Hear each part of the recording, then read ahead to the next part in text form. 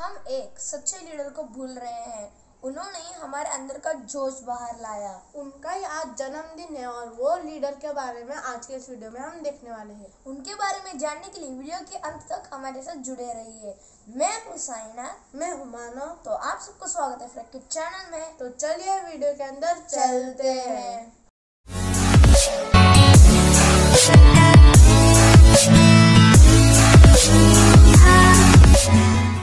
की मृत्यु, या फिर इंडिपेंडेंस या फिर फ्रीडम यह सब अगर हमने सोच के देखा तो हमें एक ही चीज़ याद को आता है, जो है यह फ्रीडम के कारण, अहिंसा है, या फिर या फिर हमारे अंदर का जोश।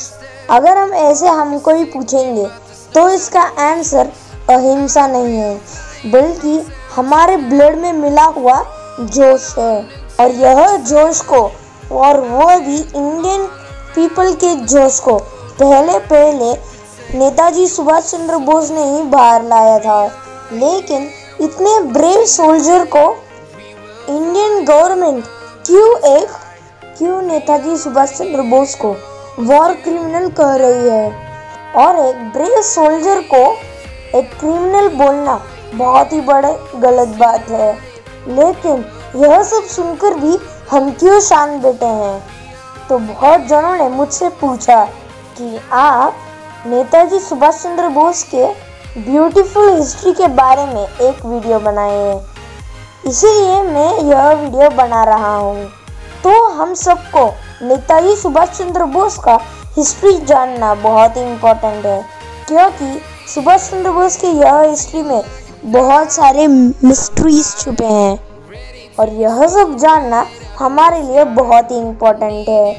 तो चलिए अब हम देखते हैं कि नेताजी सुभाष चंद्र बोस को क्यों मार रहे हैं। एक इंसान महात्मा गांधी को आकर पूछता है कि हम अहिंसा को फॉलो करके हम ब्रिटिश को इंडिया से नहीं भगा सकते और इसके कारण वह आदमी को महात्मा गांधी के साथ झगड़ा हो जाता है और वह आदमी थे नेताजी सुभाष चंद्र बोस।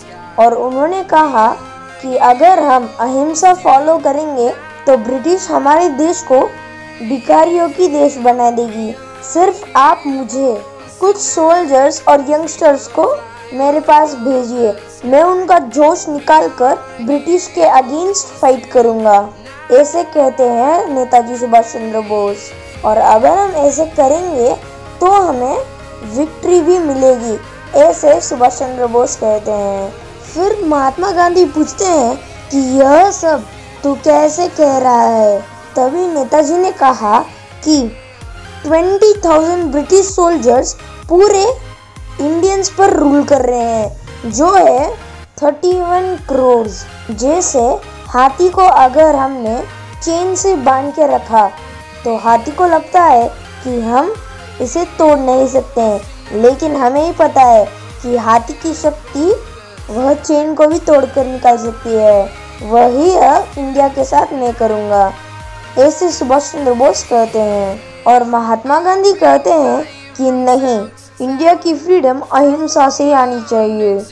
फिर सुभाष चंद्र बोस कहते हैं कि आप आपका काम देखो, मैं मेरा काम देखता हूँ। ऐसे गांधी जी से ही वह चैलेंज करके आ रहे हैं। आप समझ लीजिए कि उस टाइम में इंडिया की स्टेट्स अब के स्टेट्स जैसे नहीं थे, तब वह चेन्नई को आते हैं, जो तभी मद्रास था। मद्रास को आकर सुभाष चंद्र बोस कहते हैं कि यही है मेरा प्लान कौन कौन मेरे साथ आ रहा है? जैसे आप सबको पता है कि तमिल वालों को बहुत ही वीरता है, इसलिए सबने कहा कि आप के पीछे हम सब लोग आएँगे। ऐसे ही नेताजी हर एक स्टेट को जाकर पूछते हैं, लेकिन उन्हें हर एक स्टेट में एक फेलियर मिला। इसीलिए वापस वह तमिलनाडु को आते हैं। उस टाइम में तमिलनाडु बहुत ही बड़ा था।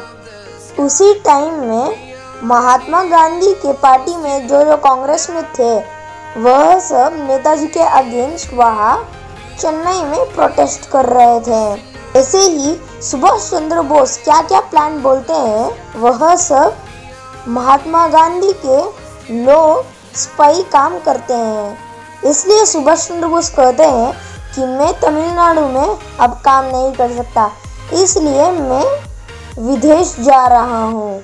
इस टाइम वह इंडिया में नहीं, बल्कि फॉरेन कंट्रीज़ को जा रहे हैं। सुभाष चंद्र बोस बहुत सारे कंट्रीज़ को गए, जैसे हम सबको पता है कि वह जापान को भी गए थे। और सुभाष चंद्र बोस जर्मनी को भी गए और उन्होंने वहाँ हिटलर को भी मीट किया। और हिटलर और जापान ने भी सुभाष चंद्र बोस को हेल्प किया। और यह एग्रीमेंट को एग्री करके हिटलर और जापान, यह दोनों देश सुभाष चंद्र बोस को वेपन्स देते हैं। और इसमें ज़्यादा भाग हिटलर को था। अब नेताजी सोचते हैं कि हम अब वेपन्स में बहुत स्ट्रांग बन गए हैं। अब हमें सेना में स्ट्रांग होना पड़ेगा। फिर सुभाष चंद्र बोस, जो जो इंडिया से सुभाष चंद्र बोस को हेल्प कर रहे थे, उनको वह लेटर भेजते हैं कि मुझे ब्रिटिश के अगेंस्ट फाइट करने के लिए सेना चाहिए। इसलिए अलग अलग जगहों से बहुत सारे लोग रिवर या फिर सी से सुभाष चंद्र बोस के पास जा रहे थे। और सुभाष चंद्र बोस ने उन सबको सीक्रेटली मिलिट्री प्रैक्टिस दी। और यह सब के कारण ब्रिटिश को अब वेपन सप्लाई नहीं हो पा रहे।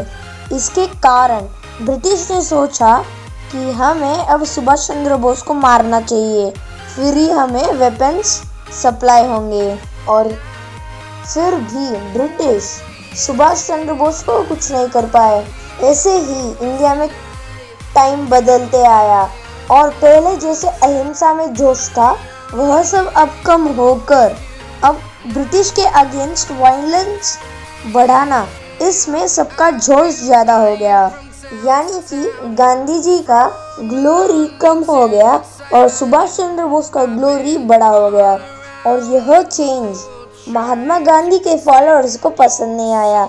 इसलिए उन्होंने सोचा कि जब सुभाष चंद्र बोस इंडिया को आएँगे, तब हम उन्हें ब्रिटिश के पास पकड़ा देंगे और इनका प्लान ठीक से इम्प्लीमेंट हो गया। इन्होंने सुभाष चंद्र बोस को ब्रिटिश के पास पकड़ा दे दिया। फिर ब्रिटिश ने नेताजी को जेल में डाला। फिर भी हमारे ग्रेट हीरो वहाँ से बचकर निकले। फिर जेल से बाहर निकलने के बाद वह ब्रिटिश के साथ एक युद्ध लड़ते हैं और उसमें ब्रिटिश को बहुत ही बड़ा लॉस हुआ। और इसके कारण अगर हिस्ट्री में ऐसे लिखेंगे कि ब्रिटिश इंडिया के वीरता से हार गया तो हिस्ट्री हमें भाग नहीं देगी। इसीलिए ब्रिटिश ने डिसाइड किया कि हम ऐसे कह देंगे कि हम इंडिया को इसलिए छोड़ के जा रहे हैं क्योंकि अहिंसा ने ब्रिटिश को हरा दिया और नेताजी को यूजलेस कर देते हैं। ऐसे ब्रिटिश ने सोचा और इसके कारण ही वापस सब पहले जैसा हो गया। और सब लोग सोचते हैं कि हमें सुभाष चंद्र बोस को मारना चाहिए। फिर सुभाष चंद्र बोस को वॉर क्रिमिनल यह नाम भी दिया जाता है। और जैसे यह टाइम में नेताजी स्ट्रगल कर रहे थे और उन्हें विदेश भी जाना है और उनका सर नीचे झुकना नहीं चाहिए, यह दोनों को बचाकर वह जापान को गए। और उसी टाइम में सारे क्रेडिट्स गांधी जी को दिया जाता है और सुभाष चंद्र बोस यूजलेस है, ऐसे कह देते हैं। और जैसे सुभाष चंद्र बोस जापान गए थे और जब वो वापस आ रहे थे तो प्लेन क्रैश होकर वह मर गए। ऐसे भी एक थियरी है। ये नेताजी ने प्लान किया है या फिर जापान ने प्लान किया है, ये अब तक एक मिस्ट्री है। तो चलिए, अब हम नेताजी कैसे स्पेशल थे? नेताजी का बर्थ कैसे था? नेताजी के स्पाउस कौन कौन थे? और नेताजी को हम क्यों भूल गए? यह सभी के बारे में ही देखेंगे। अगर आपने यह पॉइंट नोट किया रहेगा तो आपको समझ में आया रहेगा कि गांधी जी और नेताजी के बर्थडे में सबसे ज़्यादा किसके बर्थडे को सेलिब्रेट करते हैं? तो आप सबके मन में आया रहेगा कि अक्टूबर सेकेंड यानी कि गांधी जी का बर्थडे। लेकिन क्यों?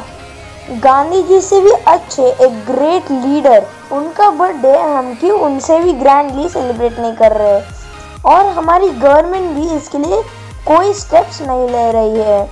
क्यों है ये पार्शियलिटी यह हमें समझ लेना चाहिए। जर्मनी के हिसाब से, सुभाष चंद्र बोस एक ग्रेटेस्ट लीडर हैं, लेकिन इंडिया उन्हें एक वॉर क्रिमिनल कह रही है।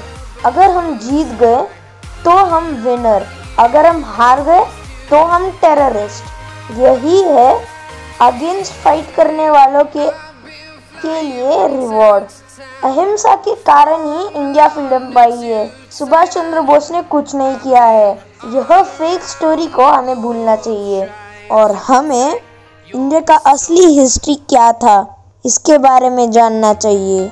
अगर झांसी की रानी और बाजीराव पेशवा किसी के अगेंस्ट फाइट करेंगे तो वह सही। लेकिन अगर सुभाष चंद्र बोस फाइट करेंगे तो क्या वो गलत है? अगर आप सोचते रहेंगे कि अहिंसा की वजह से ही इंडिया को फ्रीडम मिला है तो आपका सोच अब पानी में डूब गया है। अहिंसा के कारण नहीं, बल्कि इंडिया में एक सुपर पावर था, जिसके कारण ब्रिटिश को अपना हाथ फैलाकर भागना पड़ा। और यह सच, ज़्यादा लोगों को नहीं पता। और यह सब का रीज़न है, विदेश और इंडिया। यह दोनों के बीच का एग्रीमेंट क्यों महात्मा गांधी का स्टैचू बनाकर फॉरेन में सेलिब्रेट कर रहे हैं? बल्कि असली वॉरियर नेताजी हैं। यह सब सोचना है तो हमें पॉलिटिक्स पता होना चाहिए। ठीक है, नेताजी कब बॉर्न हुए? ट्वेंटी थर्ड जनवरी 1897 को ही सुभाष चंद्र बोस कटक में पैदा हुए सुभाष चंद्र बोस नेताजी सुभाष चंद्र बोस जानकी नाथ बोस और प्रभावती बोस के नाइन्थ सन थे सुभाष चंद्र बोस, जो एक हिंदू बंगाल फैमिली था। सुभाष चंद्र बोस को आठ भाई थे और छह बहन थे। सुभाष चंद्र बोस के पापा एक बहुत ही बड़े वकील थे और सुभाष चंद्र बोस की माँ एक डिवोटी थे। सुभाष चंद्र बोस कटक का जो प्रोटेस्टेंट यूरोपियन स्कूल है, वहाँ ही सुभाष चंद्र बोस पढ़े और 1902 में रेवेंशा कॉलेजिएट स्कूल। यहाँ उन्होंने अपना हायर एजुकेशन ख़त्म किया और नेताजी सुभाष चंद्र बोस स्वामी विवेकानंद के एक फॉलोवर थे। उनका सारा थॉट्स नेताजी के अंदर, यानी कि नेताजी के मन में भरा पड़ा था। फिर वह प्रेसिडेंसी कॉलेज को पढ़ने गए। तब वह सी एफ़ ओटन यह टीचर ने जब इंडिया के बारे में गलत बोल दिया, तब सुभाष चंद्र बोस को बहुत गुस्सा आकर उन्हें मारने चले गए। इसके कारण वह कॉलेज में बहुत ही बड़ा प्रॉब्लम हो गया। फिर सुभाष चंद्र बोस वह कॉलेज से डिसकंटिन्यू हुए। फिर बाद में सुभाष चंद्र बोस के पेरेंट्स कहने के कारण वह लंदन आईसीएस पढ़ने जा रहे हैं और तब वह फोर्थ रैंक आए। 1919 तक सुभाष चंद्र बोस फ्रीडम फाइटर नहीं थे, लेकिन उनके अंदर इंडिया के बारे में पैट्रियटिज्म बहुत था। ज्वालियन वाला बाग, यह इंसिडेंट के कारण ही सुभाष चंद्र बोस फ्रीडम फाइटर बने, ऐसे भी हम कह सकते हैं। ज्वालियन वाला बाग यानी कि क्या? यह भी हिस्ट्री में एक बहुत ही बड़ा इंसिडेंट है। 1919 अमृतसर में ज्वालियन वाला बाग, यह जगह में जब सारे पीपल एक मीटिंग में थे, तब ब्रिटिश के सोल्जर्स ने हर एक साइड से घेर कर वह पीपल को बिन कारण शूट किया।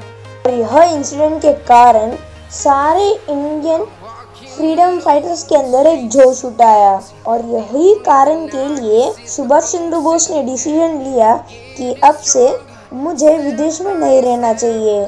मुझे विदेश की कंपनी के लिए काम नहीं करना चाहिए, बल्कि इंडिया के फ्रीडम के लिए ब्रिटिश के अगेंस्ट फाइट करना चाहिए। 1921 में सुभाष चंद्र बोस इंडिया आते हैं। फिर ही उनका मृत्यु का स्टोरी चालू होता है, जो हमने स्टार्टिंग में ही कह दिया था। तो आज का हमारा यह इंटरेस्टिंग और एक ब्यूटीफुल वीडियो यहाँ एक अच्छी एंडिंग में ख़त्म होता है।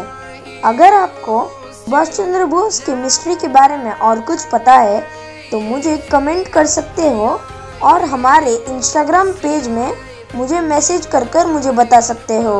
और भूलना मत, हमारे ट्विटर और टेलीग्राम के चैनल को भी फॉलो करना।